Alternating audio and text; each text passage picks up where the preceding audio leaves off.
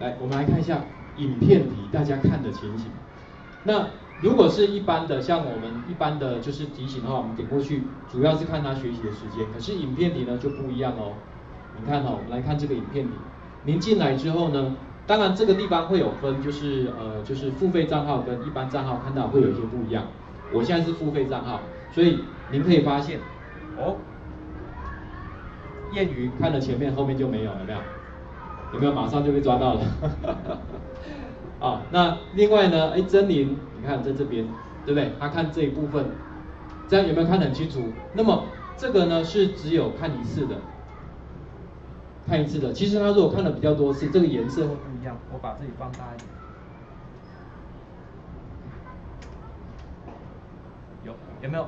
这个颜色会不一样，就是如果看比较多次的话，这个颜色不同，我们可以知道说它到底怎么做学习的。把它收起来。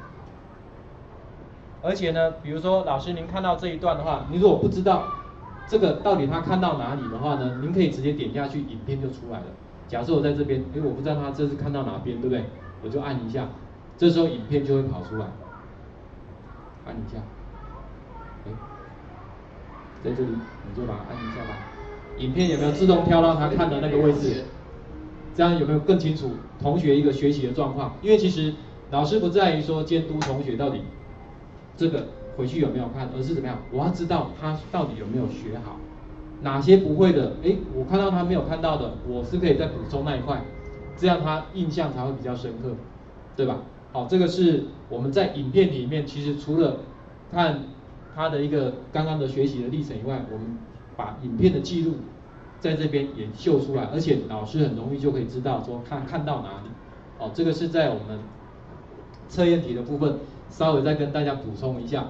那么了解了这样测验的感觉之后呢，等一下呢，我们就来看一下您怎么样建立自己的这个课程，自己的什么群组。其实什么时候最难，老师知道吗？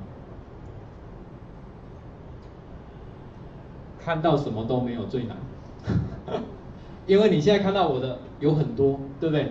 所以其实我现在上课事实上是还蛮方便的，因为随手拈来都是教程，因为都已经整理好。可是这个也不是说一次就完成，而是随时我们就是补充资料嘛，好，补充加价加价。那等你多了之后，你就会发现原来老师备课是越来越简单，因为以前的已经在了，你负责做什么？做维护跟更新，因为有些资讯会过时或者是不正确的，我们更新。可是呢，老师可以随时补充新知识。